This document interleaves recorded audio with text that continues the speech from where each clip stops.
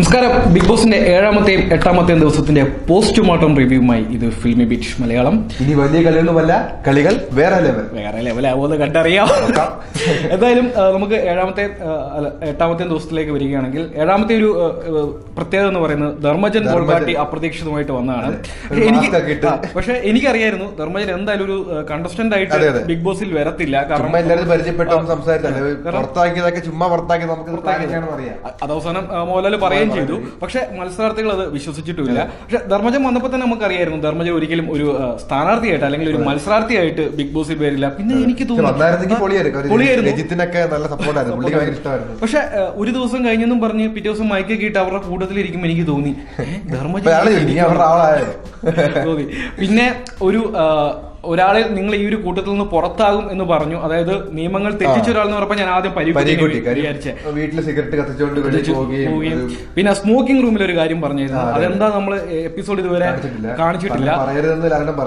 അപ്പൊ ഞാൻ ആദ്യം പരിക്കുട്ടി എന്ന് വിചാരിച്ചത് പിന്നെ എനിക്ക് തോന്നി പരിക്കുട്ടി ആയിരിക്കില്ല ധർമ്മജൻ ആയിരിക്കും അതായത് അങ്ങനെ തന്നെയായിരുന്നു. അതായത് ശനിയാഴ്ചത്തെ ഒരു സംഭവം എന്ന് പറയാൻ ധർമ്മജൻ വന്നത് തന്നെയായിരുന്നു. ലാലേട്ടന്റെ കുറെ ക്യാമറ നോക്കിയിട്ട് ദിനേശ്. അങ്ങനെ കുറെ സംഭവങ്ങളും. സംഭവങ്ങളായിരുന്നു. ശരിക്കും എടുത്ത് പറയേണ്ടത് തന്നെ ക്യാപ്റ്റനെ പറ്റിയും നമ്മുടെ രഞ്ജി- രഞ്ജിനി ചാണ്ടിയെ പറ്റി ആ മൂന്ന് പേര് പരാതികൾ പറഞ്ഞത്. അലക്സാണ്ടറൊക്കെ. പരാതി പറഞ്ഞതൊക്കെ ഉണ്ടായിരുന്നു. എന്തായാലും അത് വിടാം. നമുക്കിനി ഞായറാഴ്ചത്തെ എപ്പിസോഡിലേക്ക് വരാം. അതാണ് അതാണല്ലോ നമ്മുടെ ഒരു ഹൈലൈറ്റ് എന്ന് പറയുന്നത്. എന്തായാലും ലാലേട്ടം ലാലേട്ടൻ വന്ന് പല കാര്യങ്ങളും പറഞ്ഞു. നമുക്ക് പുതിയ ക്യാപ്റ്റനെ കിട്ടിയിരിക്കുകയാണ്. ക്യാപ്റ്റന് വേണ്ടിയുള്ള ടാസ്കുകൾ. ടാസ്ക് ലാലേട്ടന്റെ സിനിമകളുടെ ഓർഡറിൽ ഏത് വർഷമാണ് റിലീസ് ആയെന്നൊക്കെ പറഞ്ഞ് മൂന്ന് പേര് തിരഞ്ഞെടുത്ത് നമ്മുടെ മഞ്ഞിൽ വിരിഞ്ഞ പൂക്കൾ മുതൽ ലൂസിഫർ വരെയുള്ള ഒരു സിനിമകൾ അത് കറക്റ്റ് വർഷം ഏതാണെന്ന് കാണിക്കണം. തൊണ്ണൂറ് സെക്കൻഡ് ആണ് സമയം കൊടുത്തത്. മൂന്ന് പേര്. മൂന്ന് പേര്. അത് മൂന്ന് പേരെ സെലക്ട് ചെയ്തതിനും കാരണമുണ്ട്. ബിഗ് ബോസിലെ ഏറ്റവും കൂടുതൽ പ്രശ്നം ഉണ്ടാക്കിയ ആൾക്കാർ ആൾക്കാര്. ആൾക്കാർ അല്ലെങ്കിൽ വെള്ളം ഉണ്ടാക്കിയ ആൾക്കാർ പക്ഷെ അതിൽ സാജു നമ്പോ എങ്ങനെ വന്നു എന്നാണ്. പുള്ളി ഒരു സൈലന്റ് ആയിട്ട് വളരെ നീറ്റ് ആയിട്ട് കളിക്കുന്ന ഒരു മനുഷ്യനായിട്ട് തോന്നുന്നത് എങ്കിലും ആൾക്കാർ പറഞ്ഞിരിക്കുകയാണ്. രജിത്തണ്ണനും സുരേഷും സാജു. സാജു എന്തായാലും മൂന്ന് പേരിൽ ഒരു വെറൈറ്റി ആയിട്ട് തോന്നിയത് ഇതാണ്. കാരണം സിനിമ അങ്ങനെ അധികം കാണാറില്ല. എന്നിട്ട് ആ ഒരു ഫേസ് വെച്ച് പുള്ളി എല്ലാം നിലത്തൊക്കെ ഇട്ടിട്ട് ചെയ്ത് സ്റ്റൈലായിട്ട് ഒന്ന് ഇരുന്നിട്ട് ഇങ്ങനെയൊക്കെ നോക്കി ഇങ്ങനെയൊക്കെ വെച്ചിട്ട്. ഇങ്ങനെ കാണിക്കുന്നത് പക്ഷെ എല്ലാരും വിചാരിച്ചത് ഫിലിം ഫീൽഡിലുള്ള ആൾ ഇരുപത്തെട്ട് വർഷമായിട്ട്. എക്സ്പീരിയൻസ് ഉള്ള സുരേഷ്. ആയിരിക്കും വിജയിക്കാന്ന് വിചാരിച്ചു പക്ഷെ അതും അപ്രതീക്ഷിതമായിരുന്നു. സാജു അങ്ങനെ സാജു നവോദിയ ഈ ആഴ്ചത്തെ ക്യാപ്റ്റനായി മാറിയിരിക്കുകയാണ്. നല്ല അപ്പൊ തന്നെ കുറെ പ്ലാനിങ് കിട്ടുക അവിടെ ഇഷ്ടമുള്ള മേഖലയിൽ പോകാനൊക്കെ പറഞ്ഞ് നാലുപേരെയൊക്കെ വെച്ച് ഈ ആഴ്ച നമുക്ക് കാണാം സാജുവിന്റെ ക്യാപ്റ്റൻസി എങ്ങനെ ഉണ്ടാവിരിക്കുന്നത് കാരണം ഇനി മുതലാണ് ബിഗ് ബോസ് ശരിക്കും ബിഗ് ബോസ് ആയി മാറുന്നത്. വലിയ കളികളല്ല കളികൾ വേറെ ലെവലാവുന്നത് വേറെ ലെവലാവുന്നത് ശരിക്കും ഈ ഒരു ആഴ്ചയായിരിക്കും. കഴിഞ്ഞ ആഴ്ച ഫുൾ സെന്റിമെന്റ്സും കുറെ നമ്മളെ അറിയാം നിങ്ങളെ ഓർമ്മിപ്പിക്കരുതേ. എന്തായാലും ഈ ആഴ്ച നമുക്ക് പ്രതീക്ഷിക്കും. മാത്രമല്ല ഈ ആഴ്ച നോമിനേഷനും എലിമിനേഷനും ഉള്ള ഒരു ആഴ്ച കൂടിയാണ്.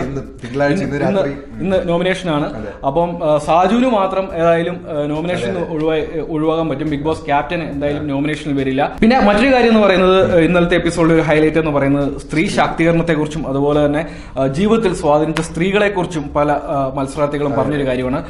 ശരിക്കും ആരാണ് അതിൽ നന്നായിട്ട് പെർഫോം ചെയ്തതായിട്ട് തോന്നുന്നത്? എനിക്ക് രജിത്തിനെയാണ് തോന്നുന്നത്. കാര്യം രജിത്ത് പിന്നെ ആർജെ പുള്ളി അവരൊക്കെ നല്ലോണം പറയും. ബാക്കി എല്ലാവരും പറഞ്ഞു എനിക്ക് അമ്മയാണ് സ്വാധീനിച്ചു പറഞ്ഞ് പറഞ്ഞു പോകുമല്ലോ എല്ലാവരും. പിന്നെ നമ്മുടെ സുജയൊക്കെ വന്നിട്ട് സംസാരിക്കാൻ എനിക്ക് ശരിയാണ്. നമുക്കറിയാം രജിത്തിന്റെ കാര്യം പറയുവാണെങ്കിൽ അദ്ദേഹം ഒരു പ്രാസംഗികനാണ് കൗൺസിലറാണ്. ആ ഒരു കിട്ടിയ പ്ലോട്ട് അദ്ദേഹം അത് ശരിക്കും യൂസ്ഫുൾ ആയിട്ട് എന്താ പറയാ അതെ, അതെ. ശരിക്ക് കസറി തന്നെ പറയാം. അതിനുശേഷം ഒറ്റയ്ക്ക് സംസാരിക്കണ്ട. കിട്ടി മോനെ കിട്ടി. നീ തകർത്തു ഒറ്റയ്ക്ക്. അതായത് ശരിക്കും രഹിത്തിനെ കുറിച്ച് ഇപ്പൊ ട്രോൾ പേജിലും അതുപോലെ തന്നെ ഫേസ്ബുക്കിലൊക്കെ കയറുവാണെങ്കിൽ പറയാൻ മത്സരിക്കാൻ വേറെ ആരില്ലെങ്കിലും വേണ്ട. ഒറ്റയ്ക്ക് നേടുന്നവനാണ് ഞാൻ നിൽക്കുന്നത്. ഒരു എന്റർടൈനർ ആയി പോകുന്നത് ശരിക്കും രജിത്തിന്റെ ഒരു പെർഫോമൻസ് കൊണ്ട് തന്നെയാണ്. പിന്നെ സാജു നവോദയുടെ സ്പീച്ച് രഘുവിന്റെ സ്പീച്ച് എല്ലാവരും അമ്മമാരെ പറഞ്ഞപ്പം അതിൽ നിന്ന് മാറി പതിമൂന്ന് കൊല്ലം വർക്ക് ചെയ്ത് ഒരു നമ്മുടെ കൂടെ വർക്ക് ചെയ്യുന്ന ഒരാളെ കുറിച്ചും വൈഫിനെ കുറിച്ചും പറഞ്ഞ രഘുവായിരുന്നു ആയിരുന്നു. രഘുവിന്റെ സ്പീച്ച് നന്നായിട്ട് തന്നെ തോന്നി എന്ന് പറയാം ഇതായിരുന്നു. പിന്നെ അത്യാവശ്യം കുശുമ്പും ഉന്നായ്മയൊക്കെ ഇന്നത്തെ എപ്പിസോഡ് നമ്മൾ കണ്ടതാണ്. മഞ്ജു എന്നൊക്കെ പറഞ്ഞത്. അത് അത് പിന്നെ എപ്പിസോഡിൽ ഇല്ലായിരുന്നു. അതായാലും ഒരു സ്പെഷ്യൽ സ്റ്റോറി ആയിട്ട് നമുക്ക് പറയേണ്ട ഒരു കാര്യം തന്നെയാണ്. പിന്നെ രസകരമായ കാര്യം ഫുക്രു മറ്റേ പന്തെടുത്തിട്ട് കറങ്ങിയതൊക്കെ. ഫുക്രും രേഷ്മ എല്ലാം കൂടെ. മാത്രമല്ല ഫുക്രുവിനെ പിടിച്ച് സ്വിമ്മിംഗ് പൂളിൽ കൊണ്ടിട്ടത്. അതൊക്കെ കുറച്ച് രസകരമായ കാര്യങ്ങളായിട്ട് തോന്നി. പിന്നെ എന്തായാലും ഈ ആഴ്ച മുതൽ നോമിനേഷൻ വരികയാണ് എലിമിനേഷനും അപ്പൊ ആര് പുറത്തു പോകും എന്നുള്ളത് തന്നെയാണ് ഒരു വലിയ ചോദ്യം. ഇന്നത്തെ എപ്പിസോഡിൽ നമുക്കറിയാം ആരൊക്കെയായിരിക്കും ആയിരിക്കും. കാരണം എനിക്ക് തോന്നുന്നു രജിത് സാർ എന്തായാലും സാധ്യതയുണ്ട്. കാരണം ഇന്നലെ കണ്ടപ്പോൾ. പക്ഷെ പുള്ളി സേഫ് ആണ്. പക്ഷെ പുള്ളി എന്തായാലും വരുമെന്ന് നമുക്ക് അറിയാം കാരണം വിജയിക്കും എന്ന് ഉറപ്പുള്ള ആൾക്കാരായിരിക്കുമല്ലോ കൂടുതലും. ഇതിലേക്ക് വരിക. ഫസ്റ്റ് കഴിഞ്ഞ സീസണിൽ സാബു സാബുക്ക് എത്രയോ പേളിയും സാബു പേളി ആദ്യം വന്നുള്ളൂ. പിന്നെ സാബു വരുന്നപ്പോഴും വന്നുകൊണ്ടിരുന്നത്. ആ ഒരു ലെവലിലേക്കാണ് കളി പോകുന്നത്. പക്ഷെ എടുത്തു പറയേണ്ടത് മോഹൻലാൽ ഫുക്രുവിനെ കുറിച്ച് പറയുമ്പോൾ കിട്ടുന്ന ഒരു കയ്യടിയാണ്. അത് ഭീകരമാണ്. അപ്പോൾ ഫുക്രൂന് ഇത്രയും സപ്പോർട്ട് ഉണ്ടെന്നൊക്കെ നമുക്ക് മനസ്സിലാവുന്നത് ആ ഒരു സമയത്താണ്. ബാക്കിയുള്ളവരുടെ കാര്യമൊക്കെ കണ്ടറിയണം. പരീക്കുട്ടിയെ കുറിച്ചൊക്കെ പറയുകയാണെങ്കിൽ ഒന്നും പറയാനില്ല. പിന്നെ നമ്മളൊരു കാര്യം പറയാൻ മറന്നുപോയി. കഴിഞ്ഞ ദിവസം ശനിയാഴ്ചത്തെ എപ്പിസോഡിൽ മോഹൻലാൽ പരീക്കുട്ടിയെ കുറിച്ച് പറഞ്ഞത് ശരിയാണ്. പുള്ളി ഇപ്പം സിഗരറ്റിന്റെ കാര്യമാണെങ്കിലും ഞാനോട്ടെ ഒരു കാര്യം പറയുമ്പോൾ ഇത് തിരിച്ചോണ്ടിരിക്കുകയാണ്. ഒരു വെറുതെ ഒരു പൊട്ടനെ പോലെ തിരിച്ചുകൊണ്ടിരിക്കുകയാണ് എന്താ അറിയില്ല പിന്നെ- എനിക്ക് നോമിനേറ്റ് ചെയ്യാൻ സാധ്യത ഉണ്ടായിരിക്കും ഈ ആഴ്ച.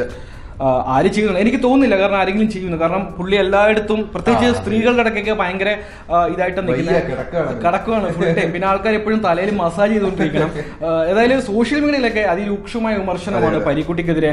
സുരേഷിനെതിരെ ഉണ്ട് സുരേഷ്. സുരേഷിന്റെ ഒരു കാര്യം എന്ന് വെച്ചാൽ ആ, സുരേഷ് പറയുന്ന വാക്കുകൾ ചിലപ്പോ പുള്ളി പറയുന്ന പോലെ തന്നെ ഹേർട്ട് ചെയ്യുന്ന കാര്യങ്ങളാണ്. അത്തരം രീതിയിലാണ് അദ്ദേഹം പറയുന്നത് ശരിയാണല്ലോ. ഒരു എപ്പിസോഡിലൊക്കെ പല കാര്യങ്ങളും. അതൊക്കെയായിരുന്നു ഇന്നലത്തെ ഒരു എപ്പിസോഡിന്റെ പ്രധാനപ്പെട്ട സംഭവങ്ങൾ എന്ന് പറയുന്നത്.